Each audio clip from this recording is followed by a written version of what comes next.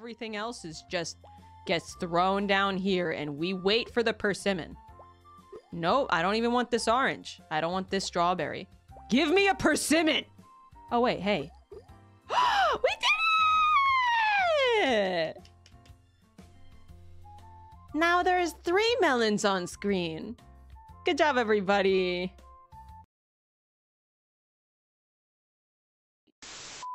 Wow. Yatta! Look at us. Wow.